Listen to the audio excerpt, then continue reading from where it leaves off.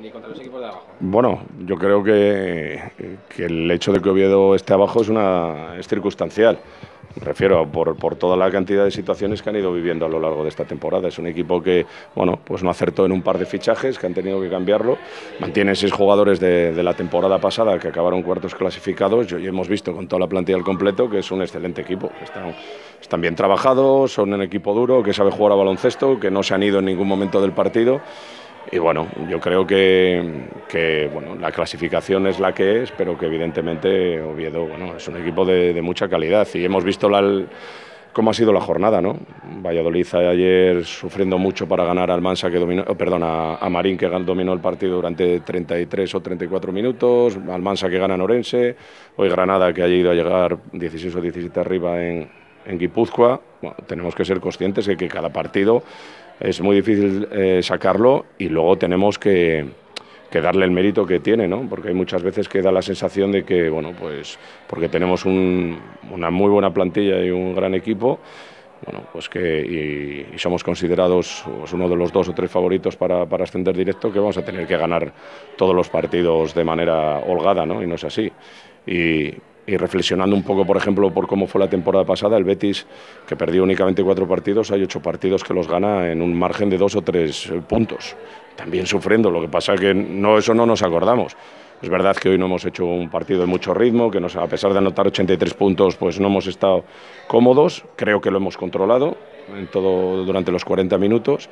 Cada vez que ellos se acercaban, nosotros les, les penalizábamos, pero bueno, eh, ha sido un partido como esperábamos, muy duro la clave, esos dos triples al inicio del, del último cuarto, ¿no? con una canasta después de, de Joan Tomás, que se ha despegado un poquito, se ha permitido un poco gestionar esa ventaja. Sí, porque eso ha, ha, permitido que no entremos en el, pues eso, en los tres o dos o cuatro últimos minutos ajustados, bueno, con la tensión lógicamente que hubiera generado esa, esa circunstancia, ¿no? Ha sido, han sido muy importantes y luego hemos tenido tres situaciones de mucho infortunio, eh, con ocho arriba, además calcadas. Eh, dos jugadores a por el balón y se nos han ido y además boom, nos han penalizado. Y hemos sido capaces de, de iniciar muy bien el último cuarto a pesar de, de, lo mal que habíamos acabado el tercero, ¿no? porque creo que íbamos seis arriba, si no me equivoco, y les hemos dado la oportunidad de meter en cuatro segundos y pico dos canastas, ¿no? la que meten en contraataque y la que meten después del rebote tras el adicional. ¿no? Y hemos sido capaces de, recomponernos. Sí, más de, bueno, pues vemos que ya poco a poco va, va, cogiendo ritmo, que es un jugador de muchísima calidad, bueno, y vemos también ya no solo la calidad que tiene, sino la personalidad. Ha llegado la primera y se la ha jugado y ha hecho una canasta en poste bajo contra un defensor del nivel de Arteaga, ¿no? Por lo tanto, bueno, creo que es una, una excelente noticia, nos da otra cosa.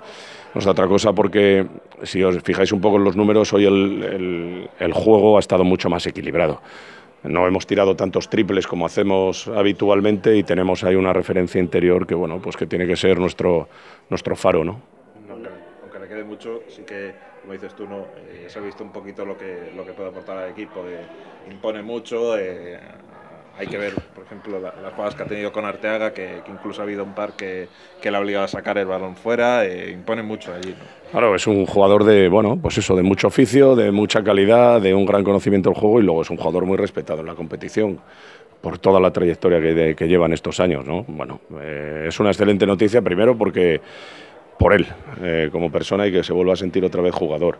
Y luego, joder, qué coño, por nosotros porque, porque nos hemos pasado una vuelta entera sí, probablemente sin nuestro jugador franquicia.